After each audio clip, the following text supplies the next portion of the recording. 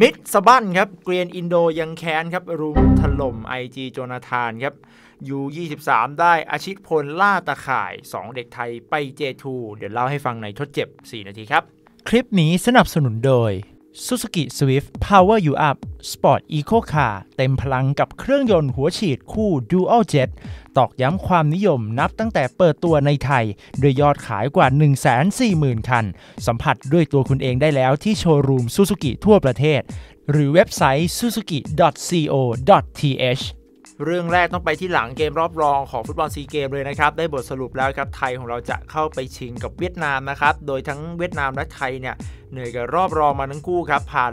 120 นาที แต่ฝั่งไทยน่าจะเสียหายหนักกว่าครับ เพราะตั้งแต่ก่อนเกมก็มีปัญหาที่แฟนบอลไทย โดนแฟนบอลเวียดนามรุมเข้ามาแย่งพื้นที่นะครับทั้งที่เป็นโซนของกองเชียร์ไทย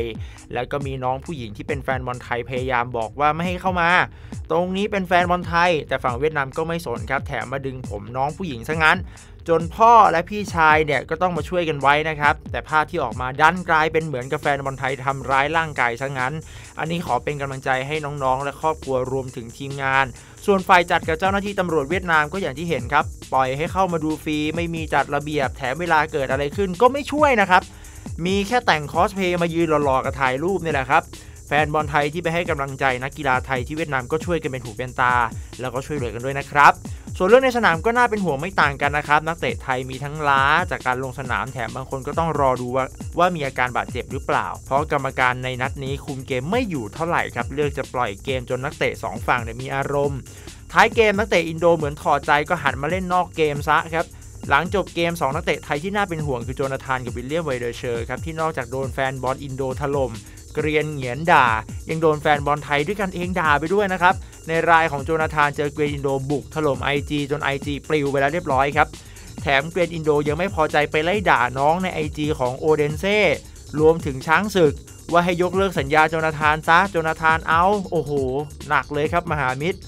นอกจากนี้ตอนนี้แฟนบอลอินโดก็หันกลับไปเชียร์เวียดนามให้ชนะไทยซะงั้นนะครับ ทั้งๆที่ก็เพิ่งแพ้เวียดนามไปแท้ๆ สมแล้วครับกับคำที่ว่าไม่มีมิตรแท้กับศัตรูที่ถาวรจริง ๆ ส่วนในรายของวิลเลียมก็โดนแฟนบอลไทยด่านะครับเละเลยฮะเพราะว่าไปโวยวายจนพลาดโดนใบแดง อันนี้ก็ถือว่าเป็นบทเรียนนะครับ ก็ถือว่าอย่าไปถล่มใส่น้องจนมากครับ ก็ถือว่าเป็นบทเรียนและให้น้องเป็นประสบการณ์แล้วกันนะครับ แค่ energy เขาอาจจะมากเกินไป เพราะซึมซับจากฟุตบอลต่างประเทศมา แต่เราก็อาจจะไม่คุ้นเคยกับอารมณ์ร่วมแบบนี้เท่านั้นเอง แถมล่าสุดในไลฟ์ของวงในไทยลีกกับพี่แมนนะครับ ก็บอกว่า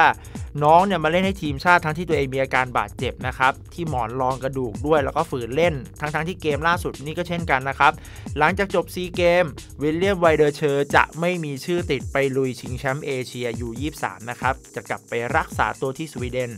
ส่วนเรื่องผิดก็ว่าไปตามผิดครับ เรื่องของใบแดงก็ปล่อยให้เป็นบทเรียนบทลงโทษกันไป แต่เพื่อนๆที่โกรธหรือโมโห อยากให้เข้าใจมุมมองน้องสักนิดหนึ่งนะครับ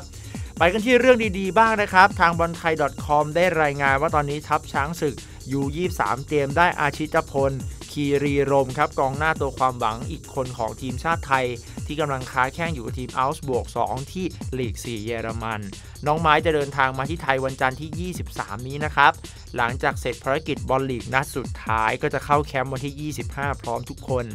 แล้วก็จะมีอุ่นเครื่องด้วยนะครับ กับทีมชาติฮ่องกง U23 วันที่ 27 ก่อนออกเดินทางไปอูซเบย์นะครับ ผลงานน้องไม้นี่อัปเดตกันนิดนึงนะครับ หลังจากหายเจ็บกลับมา 8 นัดลงสนามไปครับ ยิงไป 3 ประตู การได้น้องไม้กลับมาช่วยทีมชาติครั้งนี้ก็เป็นกำลังใจครับ เพราะว่าน้องน่าจะเก็บกดมานานที่ไม่ได้ติดทีมชาติ เพราะอาการบาดเจ็บ เกมนี้นัดนี้ทัวร์นาเมนต์นี้ขอให้ระเบิดกันเลยทีเดียวนะครับ ข่าวสุดท้ายเป็นเรื่องของ 2 ดาวรุ่งกันหน่อยนะครับ ทัพ True Bangkok United ครับ ก็ได้ส่งชยธรเทพสุวรรณวรนะครับ แล้วก็สันติภาพแย้มแสน ไปที่ญี่ปุ่นนะครับ แล้วก็ไปทดสอบฝีเท้ากับสโมสรอิวาเตะกรูลล่าโมริโอกะนะครับ ทีมน้องใหม่ใน J2